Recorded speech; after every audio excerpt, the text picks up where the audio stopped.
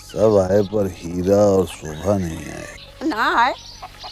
सुनाना होगा का? जब तक एक साथ में थे एक बकरी तक नहीं ली।